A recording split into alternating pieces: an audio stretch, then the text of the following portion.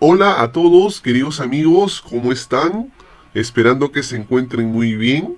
Aquí en este video lo que les quiero enseñar es el dictamen que se aprobó. Recordaron que ayer cuando les expliqué en mis videos que hice, les indiqué que, que aún no habían publicado el dictamen, ¿verdad? Y ayer cerca de las 10 de la noche llegaron a publicar el dictamen respectivo, ¿no? Como ustedes ya saben, en este dictamen lo que han hecho, han juntado todas las propuestas, es decir, todos los proyectos de ley. Desde el primer proyecto de ley que fue a cargo del congresista Luis Camiche, que él propuso el retiro del 100% de los fondos de FP, hasta el último proyecto de ley que se agregó de propuesta de la presidenta de la Comisión de Economía, que disponía el retiro de aportes de 3 UIT, ¿verdad? Pero lo que nosotros vamos a hacer aquí es lo más importante, es revisar este texto sustitutorio, que es la parte más importante de lo que se logró aprobar el día de ayer. Eh, recuerden que la votación fue artículo por artículo y aquí les voy a enseñar eh, cómo quedó, ¿ok? Asimismo, hacerte recordar que lo que se ha aprobado es un dictamen. Este dictamen que llegue en este caso al Pleno del Congreso de la República, que es el siguiente paso, como también te he explicado en mi video anterior, eh, puede ser modificado también. Y esperemos que quizás modifiquen alguna parte eh, o algunos de los artículos. ¿Por qué? Porque a diferencia de los retiros anteriores he encontrado algo que quizás no sea muy conveniente para las personas que soliciten el retiro. Bien, pero vamos a revisarlo ya que es media hoja nada más, miren. Esto es lo que se ha aprobado. Aquí está la aprobación, ¿no? Ley que crea medidas de reactivación económica respaldadas en la autonomía del manejo de los fondos privados de pensiones, es decir, de la AFP. Artículo 1. El objeto de la ley. Bien.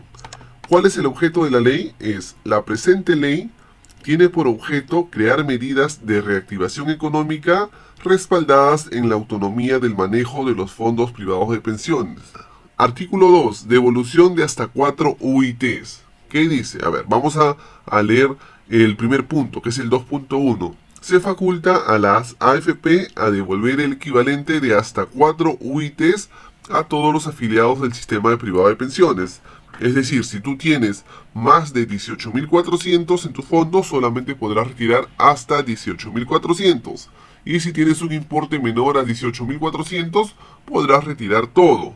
Obviamente esto va a depender de las personas que desean solicitar, ¿no? Porque esto es un retiro facultativo. El que desea puede acceder a este retiro. Pero como también te expliqué ayer, esto es un dictamen aprobado, que lo ha hecho, es un gran paso que ha dado la Comisión de Economía, pero aún no podemos iniciar con el trámite de solicitudes, porque esto tiene que llegar al Pleno. En el Pleno, esto puede continuar como se ha aprobado en, esta Comisión de Economía o modificarse ciertos artículos. ¿Qué más dice? Y aquí es un tema que yo he observado que difiere de los retiros anteriores. ¿Por qué? Porque los retiros anteriores tú retirabas hasta máximo en tres armadas. Y acá no, no, no se han dado cuenta de eso o, no sé qué habría pasado porque aquí te dice que podrías retirar hasta en cuatro armadas. Vamos a leer el, el punto 2. Dice, presentada la solicitud de retiro, a las AFP se procederá a calificar el requerimiento, que quiere decir que las AFP van a evaluar tu solicitud. Dice, a los 30 días se le abonará hasta una UIT y así sucesivamente cada 30 días eh, restantes, ¿no? O sea, ¿qué quiere decir? Que cada 30 días te van a devolver solamente una UIT.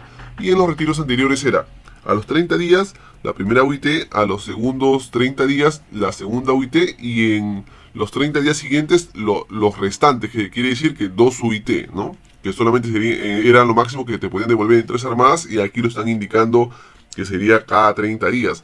Que seguramente eso al momento que llegue al Congreso de la República se van a dar cuenta y ahí modificarán o aclararán este punto. Bien.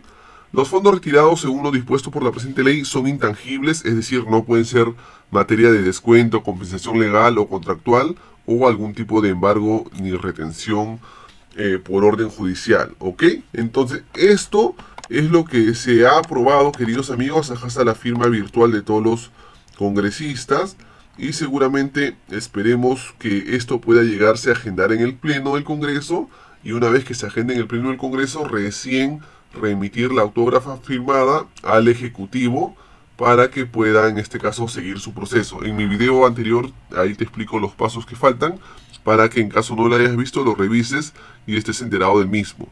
Mis queridos amigos, entonces para, este, para eso en este video, para mostrarte lo que habían aprobado el día de ayer, ya una vez que recién lo han publicado en la plataforma del Congreso. Esperando como siempre que les haya servido mucho, cuídense, hasta la próxima.